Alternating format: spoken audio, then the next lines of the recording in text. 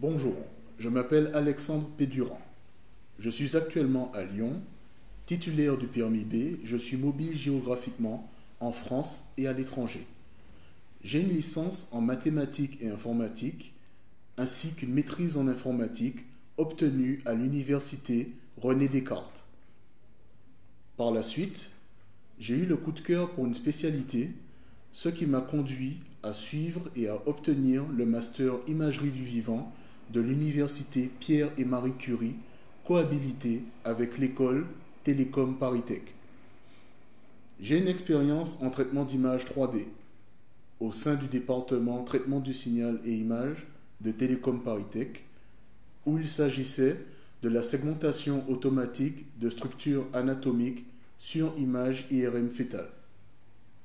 J'ai une expérience en collaboration avec une équipe de chercheurs en médecine vétérinaire qui consistait dans le développement d'un outil pour la recherche médicale et la détection de cibles sur des images de faible contraste.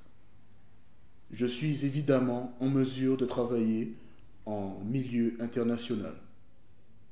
Je suis ingénieur en traitement d'images biomédicales et je souhaite intégrer un laboratoire et une entreprise. Je suis déterminé, rigoureux et volontaire et je souhaite mettre au profit d'une équipe et d'un projet mes capacités relationnelles et mon énergie. N'hésitez pas à me contacter.